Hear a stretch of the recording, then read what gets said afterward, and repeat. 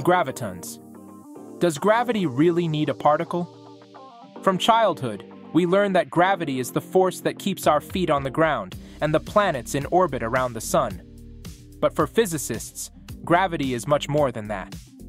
It is one of the fundamental forces of the universe, and curiously, the most mysterious when viewed through the lens of quantum mechanics.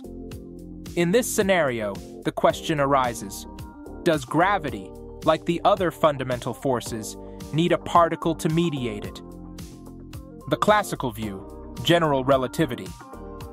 In Einstein's theory of general relativity, gravity is not a force in the traditional sense, but rather the curvature of space-time caused by the presence of mass and energy.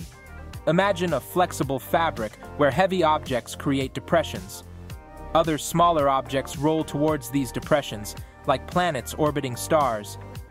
In this model, there is no need for intermediate particles to explain gravity. The quantum view, gravitons. Quantum mechanics, on the other hand, describes all fundamental forces as mediated by particles. Photons for electromagnetism, gluons for the strong nuclear force, and W and Z bosons for the weak nuclear force. Following this logic, gravity should have its own mediating particle, called the graviton.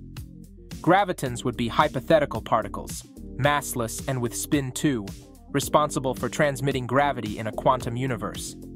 If they truly exist, they could unify general relativity with quantum mechanics, solving one of the greatest gaps in modern physics.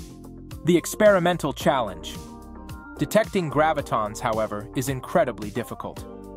Gravity is an extremely weak force compared to the other fundamental forces, making it nearly impossible to observe the quantum effects associated with it. Even gravitational waves, detected by LIGO, are not direct proof of the existence of gravitons.